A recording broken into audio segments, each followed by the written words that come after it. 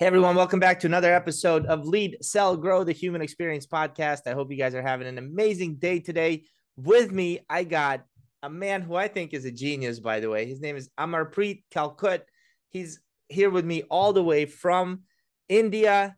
My man, this is so awesome to have you here. He is the CEO and founder of Humantic AI, a product that I absolutely love to use when I'm reaching out to brand new clients and potential prospects. I didn't even know stuff like this existed until a few months ago, and it made my life so much easier. So, Amarpreet. Welcome to the show. Eric, absolutely pleasure being here with you. Yeah. So, talk to me. When you're introducing Humantic AI, what do you say the software does? So, I, what do I say software does? I think uh, these days I don't really talk a lot about what software does. You know, I, I end up talking about, you know, um, what salespeople do and uh, how it changes some of that. So I normally tell people that when salespeople are walking into meetings, uh, they want to know their customers. They want to know everything that's possible. They want to know what matters to them, what doesn't matter, how they think, what can they do to build rapport, establish trust, and that that is what Humantic does. So helping you, in very simple words, know your customers, truly know your customers. Uh, that's what Humantic does. Okay, so from a user interface. Could you explain how it does that?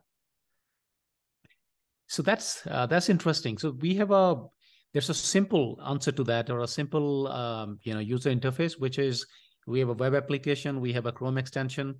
So web application allows you to you know you can go there and look up really anyone's profile. Uh, if you're walking into like a buying committee or something, you can uh, do some analysis related to the committee.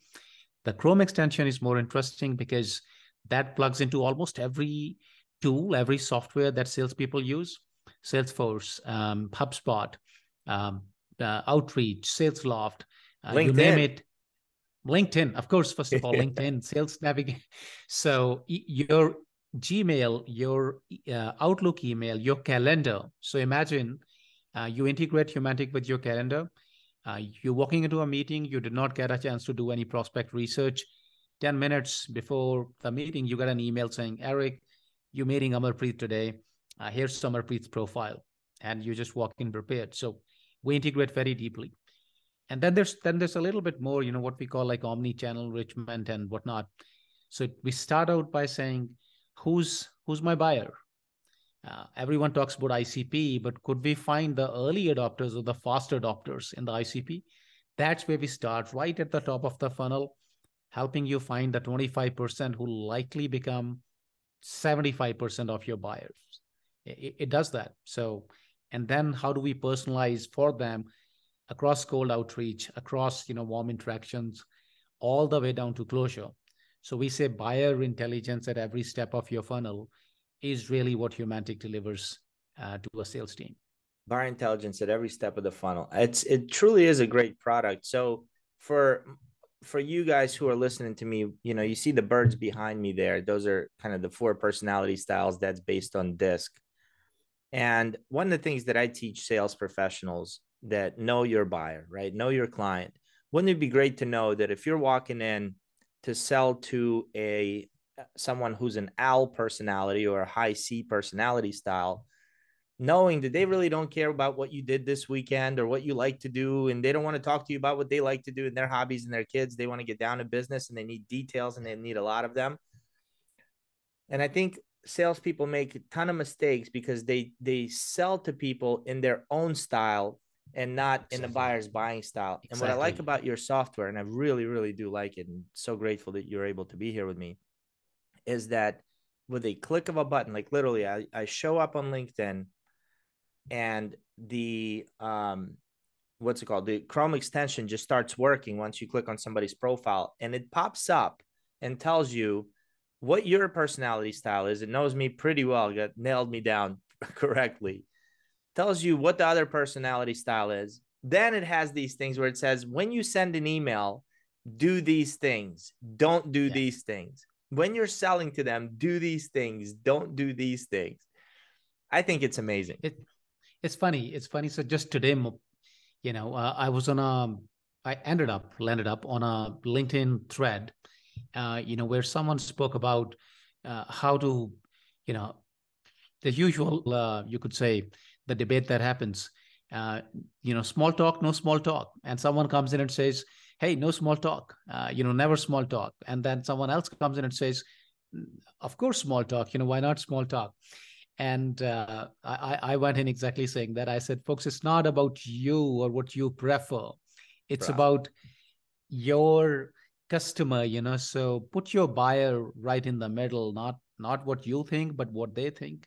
And it wasn't possible earlier, as you said, but now that it's possible, why would you not uh, do that? You know, it's not about you; it's all about them. Yeah, this tool gives you the blueprint for who they are. So, how'd you come up with the idea for it? So this is uh, this is my second SaaS startup, uh, Eric. I was doing the first one, which was a marketing analytics, consumer insights play. So we were selling to brand marketers, helping them know their consumers. And and as you probably know, uh, the brand marketing guys, you know, they got this thing figured out. They go really, really deep into everything. You know, the ads that we see, each word is thought through, researched uh, b2b we we don't have that sophistication you know that's that's that's a fact so that's where uh, we one of our product leaders uh, his name was sid i remember so around 2015 i'm talking about he said hey i came across these research papers that talk about predicting personality from just people's language and words and social activity and we said whoa hold on uh, we can predict consumer behavior so we started there. So actually, while Humantic's very new, but the research behind it has been hardened over six, seven years. We started using it as part of the consumer research product. And then at some point, we found ourselves using it for selling and for hiring. And then we said, what if uh, we take it to the B2B world? And we'd seen one or two companies, uh, you know, do that at that point, uh, seem to be, you know, doing it successfully too. So that became the impetus for bringing it to uh, B2B. And then last year, yeah, you know, we just launched Full Throttle, and it's it's been a good run so far. What was that thing you posted? I think it was you, um, where somebody typed out an email, and then Humantic AI yeah. looked at the yeah. profile and changed the email automatically to fit that other person's style better. Yeah. How does that work? So we call it so we call it one click personalization. So, I mean, it, more technically speaking, it's basically automated personalization. Um, now, what happens, Eric, is there are some people and there are some, you know, uh, there's some kinds of selling that require people to really go deep. Uh, but uh, not, not, that I'm a huge fan, but there's also a lot of personalized, uh, you know, selling, cold emailing, etc. You just shoot out the emails. Now, one of the things that we kept hearing from some of our users was saying, hey, um, my top reps, people who really, really go deep, they're to love this. They will really put it to uh, fantastic use. But my other reps, you know, they they probably they're probably a little lazy. You know, they're not going to act on all the insights. If you tell them, hey, write something catchy and you know, challenge oriented to Eric, that's going to catch his attention. They're probably going to give it three seconds and say, uh, I don't know what's catchy and challenging, you know, skip it. I'm just going to do my normal, I hope you're doing well today, Eric, kind of a thing. So that's where they said, what if this can be automated? And we said, okay, uh, we know who the email is going to. Uh, we know what kind of messaging will appeal to them. What if we could just take your default message and just change it, you know, based on whether it's going to Eric or Colin or Amarpreet or whosoever it is. So I, I want to be judicious about it because one of the so we talk a lot about humanizing sales. We uh, and I've discussed that with some of our you know advisors, advisors, my coaches. Uh, we don't want to make spamming easy. That's the last thing I would want to do. But uh, you know the idea is to make personalization really really easy, so that you can essentially do it uh, with very little effort and friction. So that's that's what you've seen. Put in one email and just put the email ID of the person it's going to. It takes, I think, six sec- seconds or something, and it gives you a completely, completely different message, which is written in the style that appeals to that person. That is insane. And you can absolutely tell people's personality style. So, for example, like the mm-hmm. doves, which are your high S's, I'll give you guys a clue here. How do you know somebody is a high S and why it's important to know? Though now, not all doves or not all high S style personalities will use two hands when they shake your hand. Only they will do that. So if you meet somebody and you reach your hand out and they grab it with both hands and they shake and they say, Hey, welcome, chances are you're dealing with a high S. So why is that important to know in a sales conversation? Because those people, they don't like change. They they're not gonna want to, they want security, stability, they're a high S, right? They don't want to get anything new you're bringing in and pitching, there's there's going to be resistance. So knowing that you're going to pitch it slightly differently from a standpoint of, hey, we're all going to do it together. It's not going to be a big change. You're not even going to feel it. It's going to be amazing, right? You're going to be the hero here with your team. If you don't know that, you're going to treat them the way you treat everyone else. Chances are you're going to, you know, meet with them, give them a proposal, and they'll never pick up your call again. And how many times does that happen? happens all the time. To, it happens. Time. It happens all the time. Now, how do you know this stuff is accurate? So, like I said, uh, you know, earlier, we've got six, seven years of you know work behind it. Um, there are multiple ways I think we can say. You know, first of all, how accurate is this? You know, so uh, I think earlier uh, you mentioned about that. So, expect it to be 80 to 85 percent accurate, Eric, which means we will get it right eight times out of ten you know, maybe a little bit more, actually, more than that. Way better than not so, knowing. way better, you know, way better. And then, of course, we'll talk about, you know, what does it lead to? Because we, I think we have enough proof points from the results as well at this point of time. We, we work with some companies that have, uh, that have been putting it to really, really uh, good use, you know, really active use, really good use. So that's that's number one. We're not always right, so we can be wrong one or two times out of ten uh, for many reasons. Uh, that's one. Number two, how do we know it's accurate? Um, what all we have done? We've worked with IO psychologists to do research studies, taking humantic results, comparing them to results obtained from, you know, a traditional uh, DISC assessment. You know, the multiple question choice type questions and whatnot. We've done that. Uh, we've worked with multiple customers. As you can imagine, almost everyone who comes in first says, show me the accuracy. I want to run it on 10 people that I know, or I want to run it, you know, on um, um, something, something, something. So we've done, done that dozens and dozens of times. Uh, we've done it where uh, people have, you know, um, taken humantic results and then compared it to again results that they might have received you know from an earlier assessment like you're a certified disc trainer so odds are you've taken a disc assessment at some point so that that we've done almost every time I would say our, our results vary between on the lower and it, they might have hit 70% somewhere. I don't think I've ever seen less than that. We've done correlation studies. I can actually share one or two with you. Uh, we, uh, you, are you familiar with Hogan assessments? Um, no. Odds are, oh, okay. No, I saw that you're a you know certified predictive index. Uh, you know, um, so Hogan assessments is called the gold standard of uh, psychometric assessments. So they are the number one company in the talent assessment world, um, known as the gold standard. So one of you know one gentleman who's a Columbia professor used to be a Hogan CEO. He's written about our accuracy in Harvard Business Review. Uh, one of our um, advisors is a gentleman named Michal Kosinski. Uh, who's Michal Kosinski? He's a Stanford professor you, okay, this this is gonna get interesting now, uh, Eric. And I, I, I saw you were at Mar-a-Lago. You know, it seems a, a few few weeks ago. So this is gonna get interesting. That was, this Saturday, but yeah. yeah. Okay. Recently. All right. All right. So you remember 2016, Donald Trump, Cambridge Analytica, all of that. Yeah. yeah. Course. Yeah. Of course. All of us too. Right. All of us too. Uh, and of course, Cambridge Analytica had that connection to Cambridge University. Now, Michal Kosinski uh, undertook the studies about um, a, a, couple other people as well, but Kosinski was one of them, as part of his postdoctoral work at Cambridge about could you predict personality from social media. He moved to Stanford in 2013. He was the deputy director for Cambridge Psychometric Center. He moved to Stanford in 2013.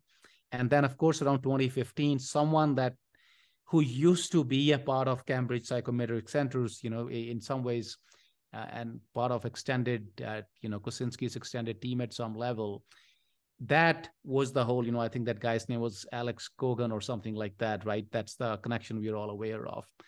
So, so Kosinski is the guy who originally did that work. He sits on our science advisory board. And why does he do that?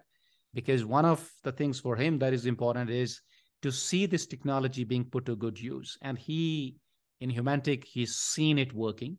So a long uh, answer to your question, you know, from doing studies uh, to working with some of the top minds, uh, you know, in this industry, to being reviewed by some of our uh, competitors in that sense. Like Hogan, we, uh, you know, uh, in a way we compete with on the talent assessment side, you know, although we mostly focus on selling.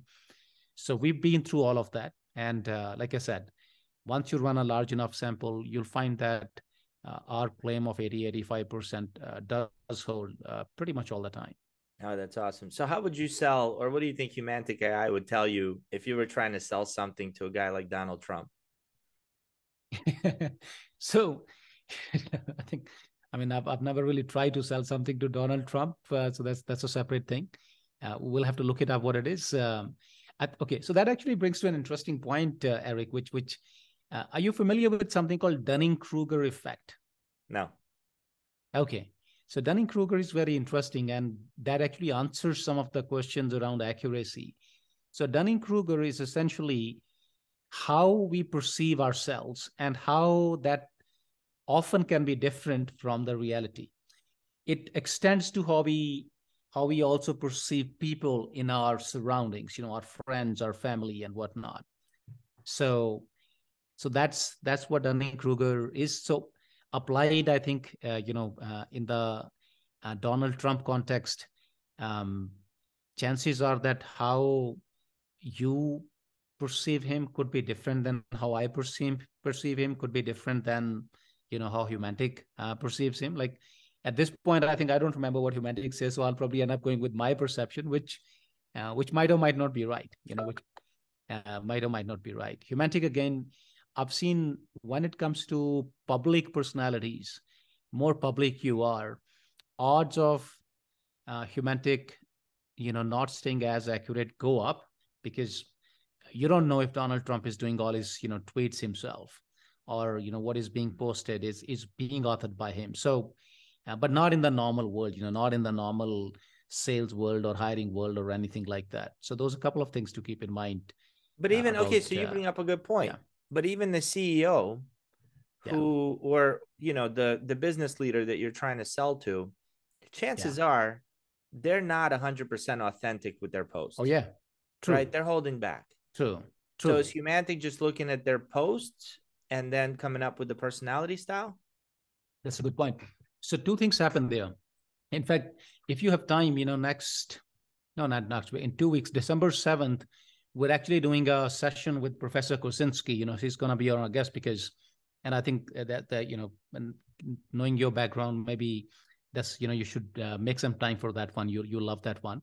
Okay. So there are two, yeah, there are two uh, answers to that question. The first uh, part is let me let me tackle it head on. Is there's uh, if we ex- exaggerate it a little bit, there's always a war on between humans and algorithms in some ways, um, exaggerating it a little bit, as, as I said. So, for example, people have been trying to game, you know, Google for a long time, uh, SEO and whatnot. And Google's job is, algorithm's job is to stay ahead of the people. So we're not yet at a stage where people are trying to game us, you know, because this is not like an established standard that everyone uses. But we take steps to take care of some of these constraints. So, for example, not all data is valued equally um, odds of you writing a comment are higher than you writing an article. So they will get value differently. Uh, we analyzing every piece of text to see uh, if this is really written in a natural style or if this is written in a very informational style, and then that will not go as an input into our algorithms. So we take a bunch of steps to kind of stay ahead of what the constraints can be. That's uh, you know that's the uh, number one thing to keep in mind. Number two, which uh, once I asked it, I uh, um, asked uh, you know Professor Kosinski this question, and he told me uh, this answer. So he and I, I forget the the exact you know terms in the psychology world, So basically, he he was tell, talking about that what if people are acting in a way which is different from their true self and and there's a term in psychology you know so he explained that to me that uh, often what that does is it leads us to behave in a manner that we want to be seen as. And ultimately uh, that becomes our reality. You know so we if i want to come across as someone you know who's uh, mm, let's say you know very fast and quick and you know let's go and kill it then that is how I, I will act. And but that is how my behavior too will become.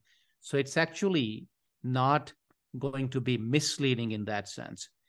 And i've seen it myself uh, how personalities change. For example my default was not a socially very active person. Like i've not been that. But now that uh, you know i spend a lot of my time selling humantic if you'll see I, I am super active on linkedin. Has that made me a just more social person uh, you know more open person i would say the answer is yes. I have changed over the last three four years more than i had changed uh, in the earlier period. So it's very interesting. Psychology is a very interesting field very easy for people to get confused too so often enough what we try to do is you know we try to bring them to a point where they can see that okay i might not agree with this thing fully but i can see at this point that this works and hence I, I, can just go ahead and use it. So it, it can be a very interesting topic. I mean we can talk about it for hours if we get down to it yeah no absolutely but did your buying style change has my buying style changed possible possible. I, I haven't really analyzed, you know, uh, try to uh, give it a deep thought. Uh, now that you ask me, I'm actually thinking, you know, has my uh, buying style evolved?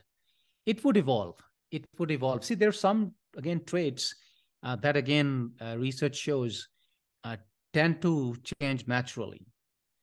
Yeah. So till a certain point of our life, for example, again on the average, this is not true for everyone till a certain point, uh, from a professional pers- you know uh, point of view, we actually keep becoming more disagreeable, and after a certain point, we keep becoming more agreeable.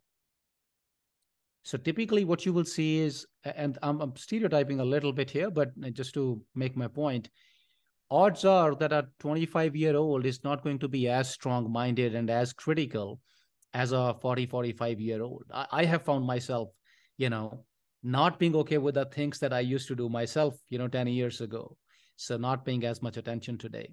But after a certain point, as we start, you know, uh, growing older, typically post our 50s, etc., a lot of people they start, you know, accepting more and saying, okay, yes, this is fine, this is okay, we can go with it. So that's an age-related correlation.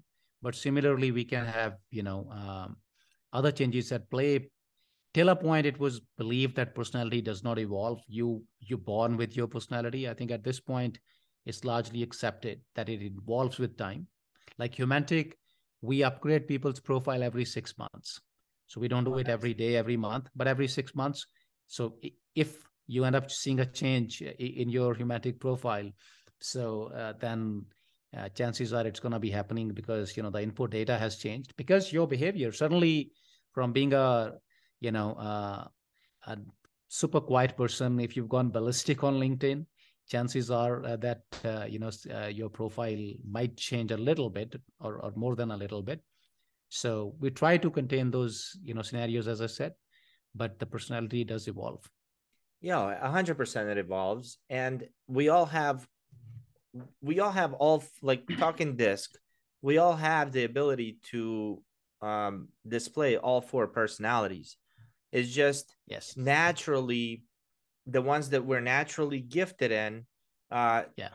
give us energy to do and the ones that we're not take energy away. So for example for me i'm a big picture kind of oversight. I don't get into the details so yeah. i can have a grand plan i can create kind of an action plan to do it to hit the goal and don't tell me how to do it tell me what to do i'll get it done let me figure it out However, someone who's detail oriented, you got to tell them exactly how to do it step by step. Otherwise, they're going to get lost in the weeds.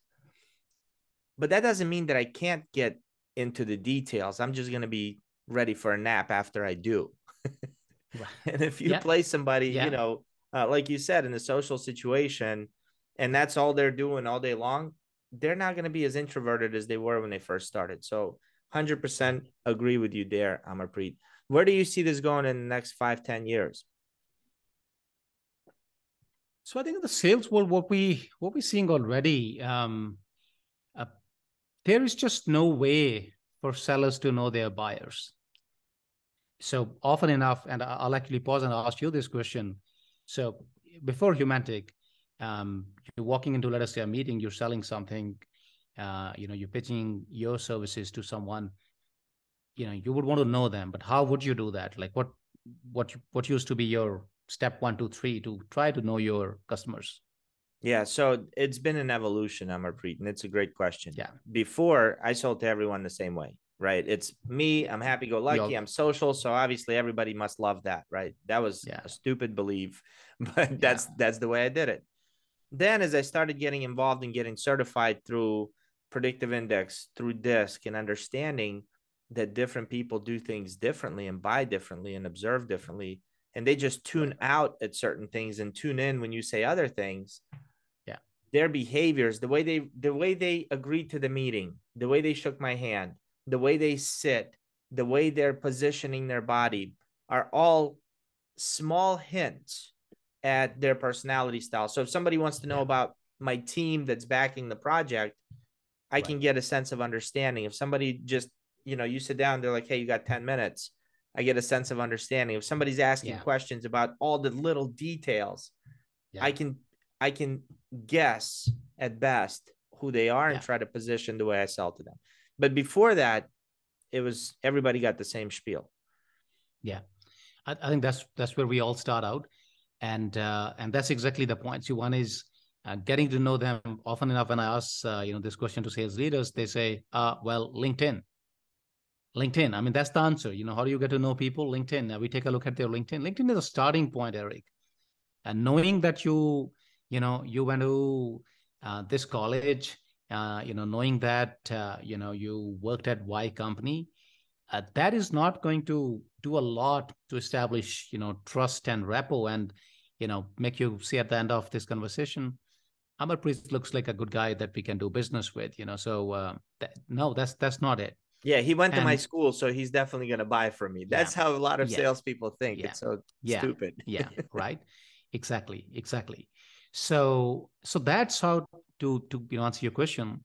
So that's what we speak about. So we uh, what we see and what and again i think we hear from everyone is there's no way. And people because they didn't know that there was a way to know your customers so they've never really tried to know their customers. Mostly people hey we use ZoomInfo. Zoom info is company level insights Mhm. uh, you know technographics intent data.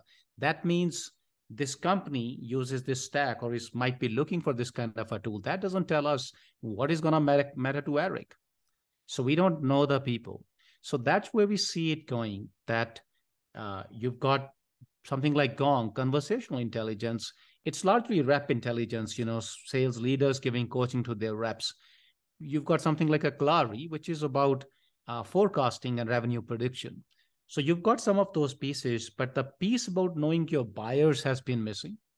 Uh, we believe, and I think pretty much everyone agrees, it's a critical piece. It's a critical piece. You know, those who know their buyers, they sell a lot more than those who don't know their buyers. And uh, we are bringing buyer intelligence to the table. So in 10 years, I would see it being used as much as, let us say, a ZoomInfo is being used today. Uh, I think that's a no-brainer. It, uh, that and every customer that uh, that we have, uh, where we face a challenge, for example, still is people uh, finally deciding to take a bite because it's just so hard to wrap their head around. You know, oh, this is even possible. Most of the people we meet, they don't even know this is possible. But our retention numbers, Eric, are absolutely crazy, absolutely crazy because once people start using it, uh, they they just love the product. So yeah, so um, that's part of the answer from a sales perspective. You know, we uh, see, and I keep telling the team that at this point it's a no-brainer. It's about how fast we can make it, you know, uh, universally, let us say, applicable. So, but we Mhm. think we have the ability to head in that direction. uh, as long as we don't screw up, you know, as long as we do a good job, I think uh, something like that is bound to happen where there is a need to know the buyers, especially today when spamming is so easy. I can shoot a thousand emails right now and just hope that, you know, 10 of those people respond. That's, uh, I, I, don't think that is, uh, that's a sustainable future. I don't think that is the right direction to head in. So nope. we, yeah. we need, we need to, we need to change that. Yeah and I, I, use this for you know I'm prior service military, so I use this. They sent Navy SEALs to get Osama bin Laden. You know what I mean? They didn't they didn't just send a whole platoon of spray and pray. It was yeah a lot of research on that. the front end. You had snipers. You had I, I mean anyway um I'm a pretty yeah. so how do how much is this thing? How do people sign up? What are some payment plans? Because I I feel like you priced it way under what it's worth. Um, the value is just incredible. It's a no brainer. You could probably borrow that amount from your kids if you really needed to. yeah, probably yes. But we, like I said, we want people to, uh, you know, not have to think too much about, you know, is is this going to be worth, you know, my time? So we want them to get started. We want them to see value. So how we do it is, and we've made it very very easy. So we offer a free trial to everyone. Anyone can come in from our website, just sign up. You know try it. Currently it's three weeks. Uh, we're reducing it to i think one week. Uh, and we'll still have options to um, you know to get a longer trial but at least you know one week free trial is going to stay. Uh, anyone can do it. You could be a bdr you don't need your sales leader to buy it. Uh, our pricing starts at literally $16 per month and uh, you know goes uh, up to $50 a month for individuals what's the difference between yeah. a $16 plan and a $50 plan so the two, three key, I mean, there's a bunch of things, but two, three key differences. Like the $16 one doesn't really integrate into system. So that's largely built for, you know, someone's running a small SMB thing. Uh, you know, they're not using a CRM and a engagement tool and whatnot. So they just need the insights as that they, they'll still get it within LinkedIn, you know, because they're probably using that. So then, you know, you move to the next plan, you'll get a bunch of these integrations you know you move to the final one that that's when you get that one click personalization etc you know so where there's no work needed. Where it gets interesting is you know this is for the individuals but then we have you know an organization plan. So where your salespeople still get all of this access but we also build these you know you come and connect your salesforce instance and your hubspot instance and your outreach instance with humantic and data starts flowing across all of these systems. Mm. so wherever your reps go your demand gen team wants to do further segmentation, they want to send up, you know, uh, to S types, they want to send that email about, you know, low risk and whatnot. And to the D types, they want to send email about, you know, results, results and more results. Uh, they, they can start doing that. So that's where it starts becoming. So if you're like running a hundred percent sales team, at that point, you'll, it's still a no brainer of a deal. At that point, you'll probably spend hundred thousand dollars with us per year. Uh, uh, but what happens is like last week we started a trial and on seventh day of their trial someone wrote in and said i want a $20000 deal which i can 100% tell you would not have happened without humantic wow so just yeah that's, that's just so, just that. so i can yeah. i think i heard what you said and i think what you're saying is once it integrates across all your systems you're able to say yeah. okay this is the email it, the system can help you create an email specifically designed for the D style, the I style, the S, and the C style. Yeah. Different emails yeah. that they're going to yes. read because it talks their language. Yes, and yes. you can send campaigns out specifically to these styles because the system knows who your buyers are. Absolutely. Absolutely. See, I mean, I was cool. looking at your at your podcast, right? You talk about the human experience and uh, our name Humantic AI comes from humanizing AI humanizing selling. So we, we care a lot about the human experience. And uh, eh, you'll probably see a post come from me one of the days, but it really, um, I wouldn't say pisses me off, but peeves me at least a little bit. So I see a lot of, um, um, you know, a lot of wisdom, you know, being kind of spewed by, um, you know, people out there. Hey, write an email subject line that's only four words or two words write only you know 30 word email or 50 word email. Never say hope you're doing well today. Uh, never use a closing line. I mean there's see it's not about rules. Not all people are the same. I mean do you want to take out that last ounce of human you know from and that last ounce of soul from selling? You want to standardize everything? No. That's not how it's supposed to be you know. Right. That you you're making it soulless. You know, you can't templatize everything. You know, you got to you got to care, you know, care about the people. I mean, I would write, I hope you're doing well today to an S-type personality because they are You have formal. to. Yeah. Yeah. Yeah, exactly. Right. They'll Otherwise, find it rude if you don't. Exactly, right? I mean, people don't get it. You know, they'll say, hey, you should never ever use that. No, that's not right. Don't use with that a D type personality. Yep. You know, uh, don't use that maybe even with a C type, you know, personality. With I type, change that to something something warmer, informal, casual, saying, Eric, I hope you're kicking ass today. You know, uh, Eric's gonna Eric's gonna say, oh, this is an email that deserves, you know, a few seconds of my time because that's Eric's personality. You know, Eric's a DI, let us say. So, so yeah, so that's uh, yeah.